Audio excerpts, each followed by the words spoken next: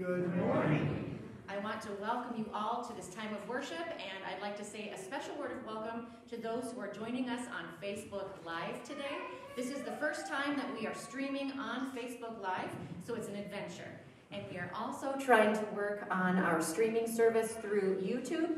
So if I seem a little bit out of breath right now, it's because I've been running around working on technology. But you know what? I find that to be very exciting. And I am so thankful that this church has the ability to offer so many options to people for worship right now. So thank you so much for all of the support you are showing to your church family and friends throughout this Advent season. I would like to remind everybody that we do have our parking lot worship services at 6 p.m. on Sunday evenings where we are lighting our super cool giant Advent wreath outside. That has become just a wonderful time of gathering together. It's going to be a little chilly tonight, so I would encourage you to bundle up if you're joining us. And I did also, for those of you who are part of our email system, I have sent out the lyrics to our songs tonight. They'll also be posted on our website, so I encourage you always to go to riverview-virgilumc.org to check out all of the things you need to know for the life and the goings on of the church. Speaking of our outdoor worship, that is what we plan to do for Christmas Eve as well. So our Christmas Eve worship service will be in the Riverview parking lot at 6 p.m. on December 24th. It's going to be a fabulous service. Our musicians are working hard to prepare things that we can sing together that night as well, and some special music. And we have some special items in store as well. I don't want to ruin a surprise, but there's something fun with lights that everybody's going to be able to do as part of that as well. So I hope that you will all mark that on your calendars for 6 p.m. on Christmas Eve and that you'll bring your friends and your neighbors. We will also live stream that event on Facebook as well. We want to continue to offer as many options as possible. I would also like to remind you that we just recently announced that on Sunday, December 27th, we will not be gathering in person in the sanctuary. Our Dakotas Conference has put together a service called A Very Dakotas Christmas and it is meant to be something for people to be able to worship from home that day. Several of us may have just gathered with family and friends, and we want to make sure that we are being appropriate during that time. So I'm going to encourage everybody to worship from home, and there will be a link sent out to that worship service. And I'm excited to say that I was asked to be part of that as well. I'm one of the scripture readers, and I also recorded some special music that is prelude for the beginning of that service. It's something that uh, pastors and pastors' families from across North and South Dakota have been asked to participate in.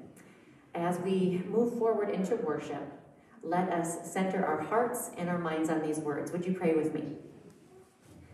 Lord of love and light, shine through our darkness, bringing us hope. Open our hearts for the journey, our eyes for the light, our spirits for the peace which you bring. Fill our mouths with laughter and shouts of joy that reveal the love with which you surround us. We offer this prayer in the name of the one who is coming into the world, bringing your hope, peace, joy, and love, Jesus Christ. Amen. One of the beautiful traditions we have during the Advent season is the lighting of our Advent candles. So we have some, some friends who are new to our church. They are not new to me, but some of you may be wondering who these wonderful folks are that are here every Sunday. Marla Starr is my mother, and Tim Almy is her friend. And I'm going to uh, ask you guys to grab this mic over here so you can be heard as well.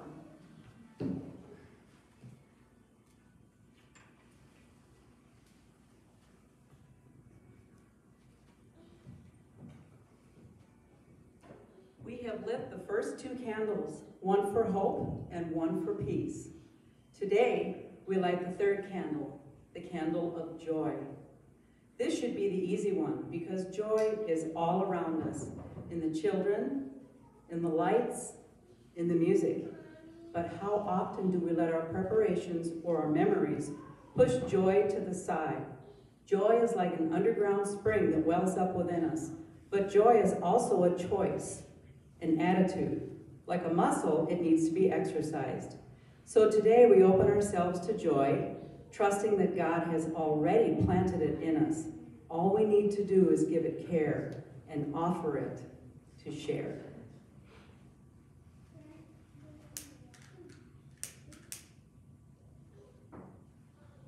And so we light the candles of hope, peace, and today we light the pink candle for joy. Loving God, we open ourselves to you, trusting that this is how you made us. You created us for joy filled hearts and lives. Show us the creative power of hope. Teach us the peace that comes from justice. Fill us with the kind of joy that cannot be contained, but must be shared. Prepare our hearts to be transformed by you, that we may walk in the light of Christ. Amen. Amen. Thank you so much. And now, today, as we prepare to sing, I would like to invite those of you who are wearing masks to sing along with me today. This is not something that we have done in our sanctuary since we've come back inside during this pandemic because it's been proven that singing is a super spreader. But I've seen many choirs be able to sing appropriately when they have masks on. So if you are someone who has a mask on this morning, I would encourage you to sing softly along with me as we enjoy these beautiful carols today. Our first song is Angels We Have Heard on High.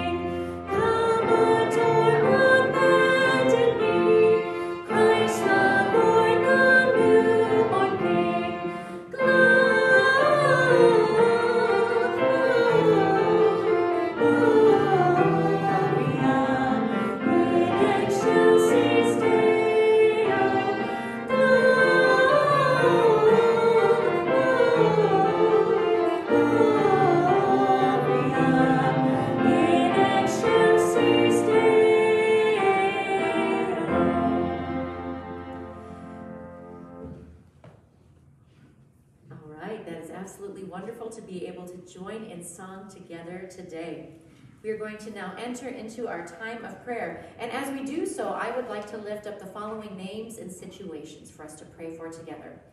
We lift up these names for those who are recovering from surgery, illness, or injury.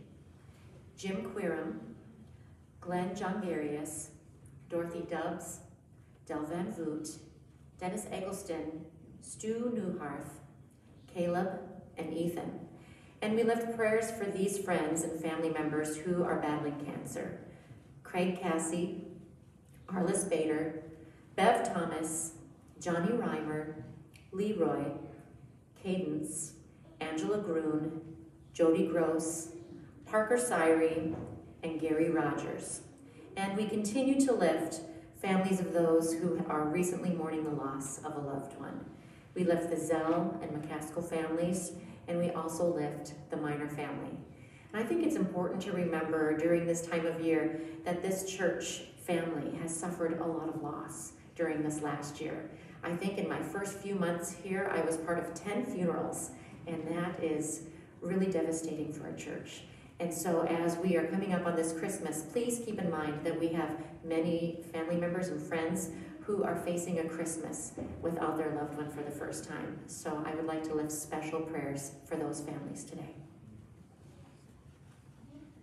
Let us now take a moment of silence to lift these prayers and the other joys and concerns that we bring with us today. Let us pray.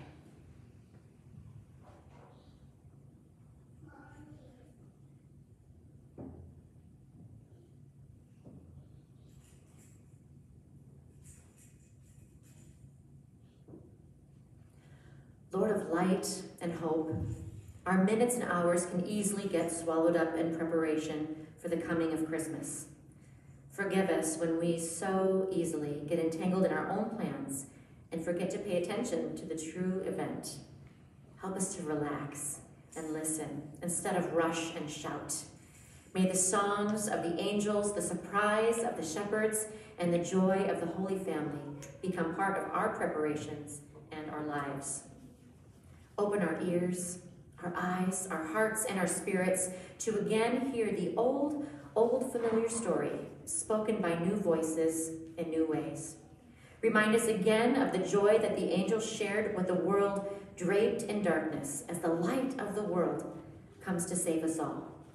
Rekindle that joy in our hearts today. And we pray these things in the name of Jesus, who taught us to pray together, saying, Our Father, who art in heaven, hallowed be thy name.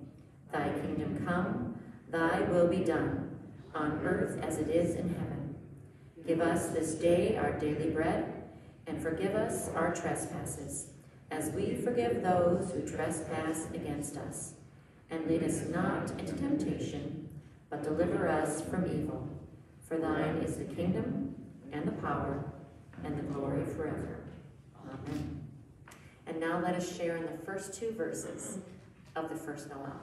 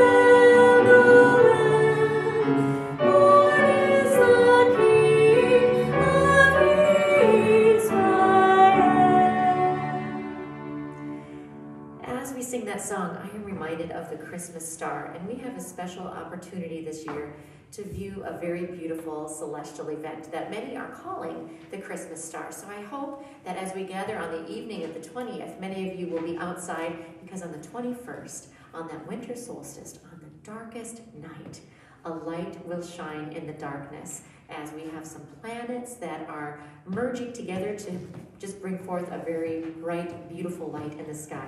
And during that time, we can think of the wise men and the star that they followed. And now, we have some special music. If some of you were watching the Christmas Basket through the Salvation Army, you may recognize this Joy medley as one of the songs that Jean and I played together. But I'm so excited this morning that now Beth will be joining us as well. So please enjoy the Joy medley.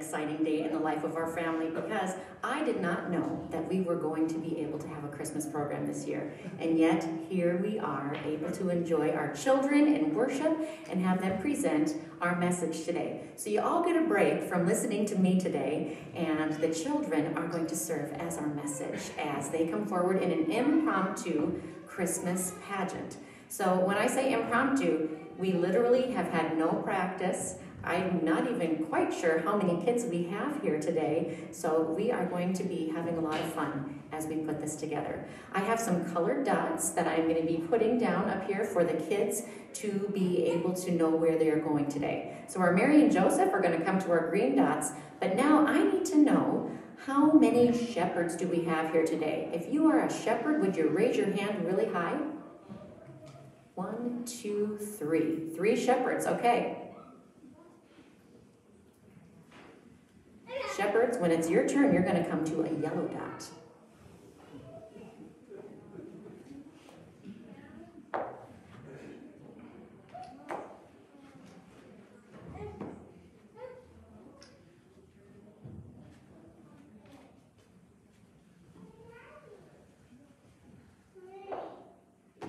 How many angels do I have here today? Raise your hands really high. One, two, three. Looks like I've got three angels. Okay. Angels, you are going to have purple dots. Teresa, I think there's four. Is there four? Uh, oh, she's not. No, I'll take that back. She's looking at you as an angel. She's married.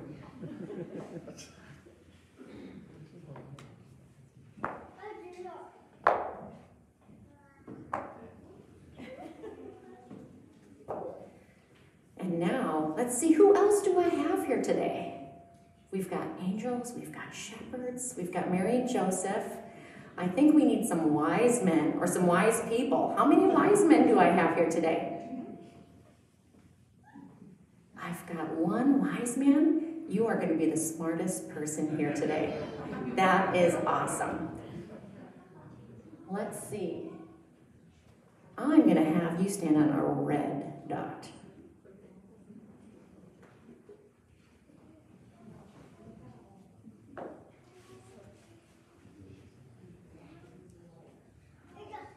All right, now do we have any animals or anything else like that that I need to think about today?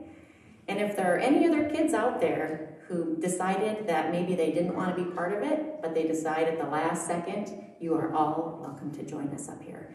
And at the end of our time together up here, while the kids are still standing in their nativity pose, we are going to sing Away in a Manger all together. Now, today, for our scripture, I am going to be reading from our Celebrate Wonder Storybook Bible, which is what I have been using for our children's virtual Sunday school online. Our story starts in the Gospel of Luke, chapter 1, verses 26 through 38. Mary's joy. Mary lived in the town of Nazareth. Mary was engaged to Mary Joseph, a builder whose family lived in Bethlehem. One day, an angel appeared to Mary. At first, Mary was scared, but the angel Gabriel spoke to her, saying, Don't be afraid, Mary. God is pleased with you. I have come to tell you good news. God is going to send you a baby boy. You will name him Jesus. He is God's son, and he will show everyone how to love God and each other. Mary listened closely, and her heart was filled with joy. I am a servant of God. I will do what God wants me to do, Mary said. And so it is appropriate that today we lit our candle of joy. Mary and Joseph, would you please come stand on your green dots? And baby Jesus, of course.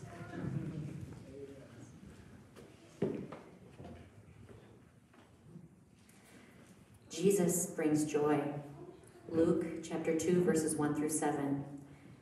The man in power, the Emperor Caesar Augustus, wanted everyone to go to their hometowns to be counted. Joseph was from Bethlehem, so he and Mary had to go to Bethlehem.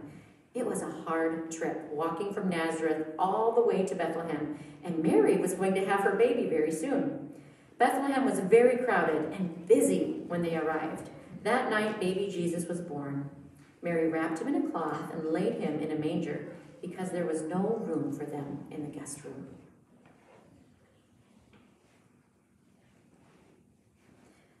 Joyous news. Luke chapter 2, verses 8 through 20. In the fields around Bethlehem, shepherds were watching their sheep. It was dark and cold, and they were warming themselves by a fire. Shepherds, would you come forward? And our shepherds are bringing sheep with them. Wonderful.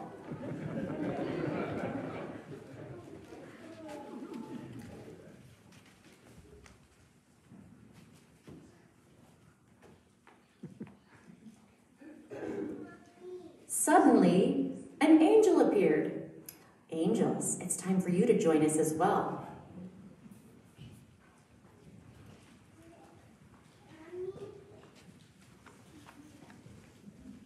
Look at our beautiful angels today.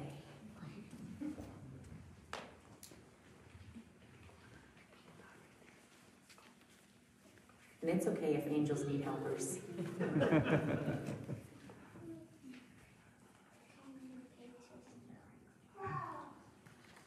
So, as we were saying, suddenly our angels appeared. The angels said, Do not be afraid. Today in Bethlehem, a baby was born for everyone. The baby is God's son. The baby's name is Jesus. You will find him lying in a manger. And the shepherds said, Let's go to Bethlehem and see this special baby. The shepherds found Mary and Joseph and baby Jesus. They told everyone they saw about the new baby. The shepherds praised God for letting them see the special baby Jesus. The Magi, Matthew chapter 2, verses 1 through 12. In a faraway place, there were Magi who spent their time watching the stars. One night, they noticed a very special star in the sky. It was very bright and seemed to be moving ahead of them. The Magi thought this special star would lead them to the new king. I think we need our very, very smart wise man to come join us now.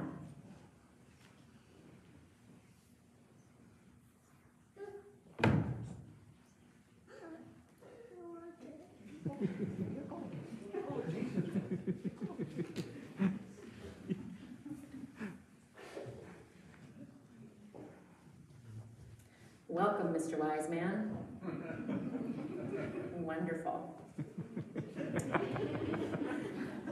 The wise men wanted to bring special gifts, as we see here, to the new king. They packed frankincense, gold, and myrrh, gifts fit for a king, and set out following the star. The Magi arrived in Bethlehem following the special star until it stopped over a little house. When the Magi entered the house, they met the new king, Jesus, and his mom, Mary. The Magi knelt down and offered Jesus their gifts. Here ends the reading of our holy gospel. May it light our way during this Christmas season. Can we thank these children for participating in this story today?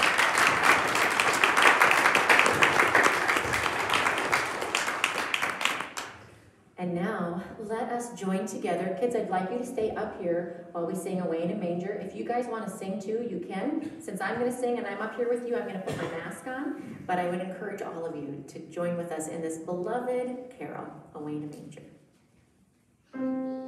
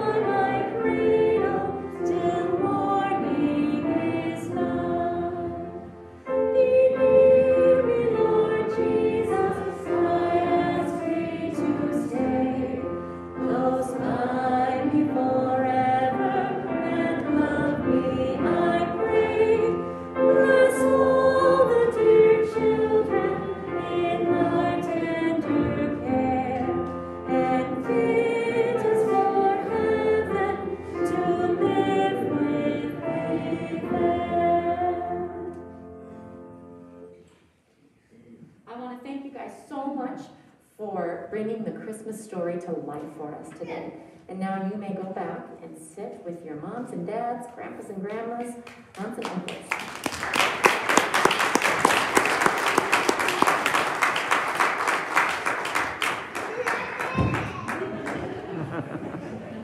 We did it. That is right. That is fantastic.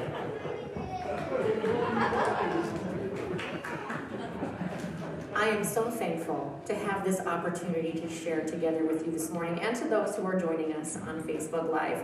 And just a reminder that this service is being recorded and it will be available by video later as well. You can go onto our church's website to view it. We'll put it on Facebook. You can share it with all your friends and family members as we spread joy and light the darkness during this Christmas season. At this time, I would like to invite those of you who have brought your tithes and your gifts with you this morning to come forward as our special music is played to place your gifts in our offering plates throughout the sanctuary.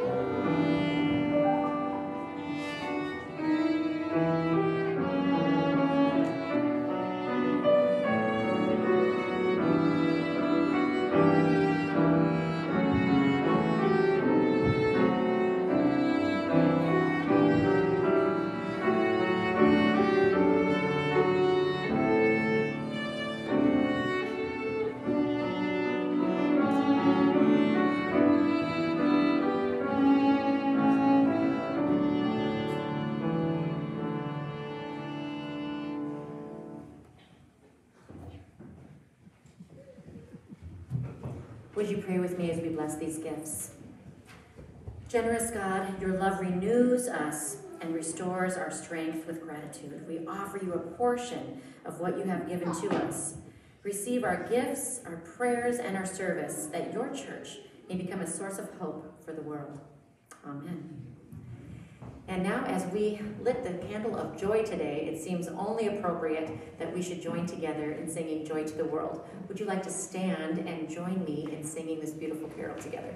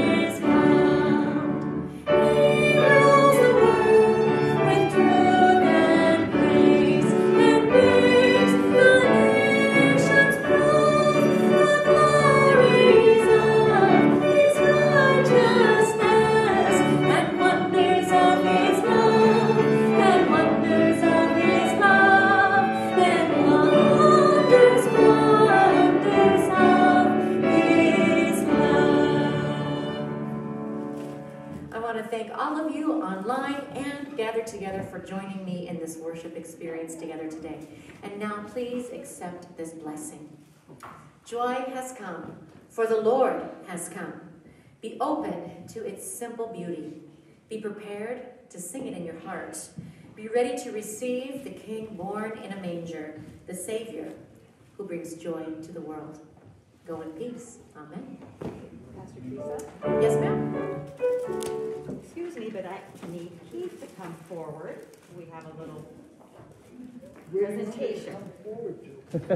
I'm going to ask you to grab the microphone since we are still live so that all those can hear. Yes.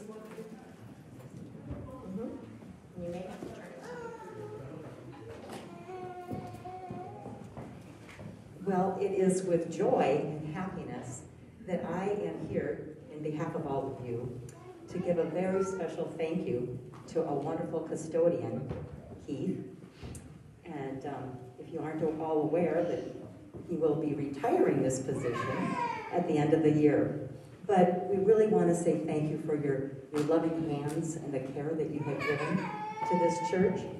And um, we know that you might be retiring as a custodian, but we know that you are he- here as a dedicated, you know, loving church member who will continue your spiritual leadership and also your active hands in giving service to this church. So God bless you, and we give you thanks. Thank you, Keith.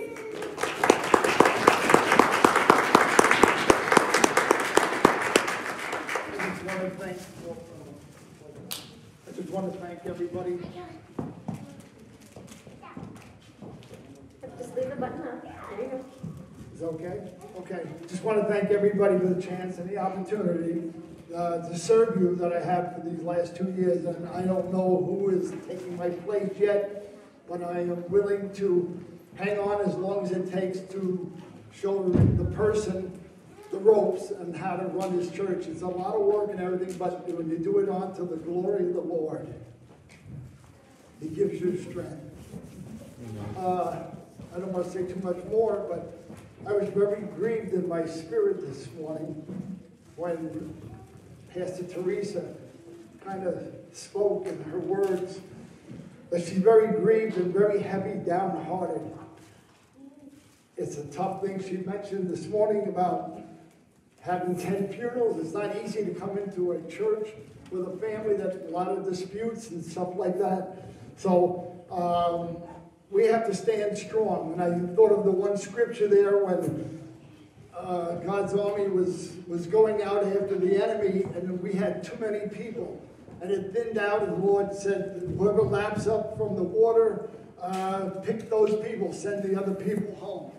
So, in a way, if you look out and around, we are thinned out a little bit. That means God's tr- strong and the ones that have been chosen to hang on. So, with that, I just want to say, and I kind of want to, because of uh, the distance and everything with, with COVID, I want everybody to raise their hand. Well, put your hands towards Pastor Teresa, and we're going to lift up and we're going to pray for our pastor. Heavenly Father, we just come before you. Lord, that you've chosen her to come and be the leader of this church. We ask you to stand and we ask you to be supportive of her in anything that she needs. Don't wait for her to ask, but suggest and do whatever. But as long as we can, we ask you to support her in the things that she's doing and that the COVID will be cured in, in the time. We thank God for the vaccination, the vaccine. And so, Lord, keep her strong and never give up hope in her doing. And we just ask you these things in your mighty, precious name. Amen. Amen. That was a beautiful prayer and blessing. Thank you so much, Keith. You have a true servant's heart. Thank you so much, everyone, and Merry Christmas. Merry Christmas.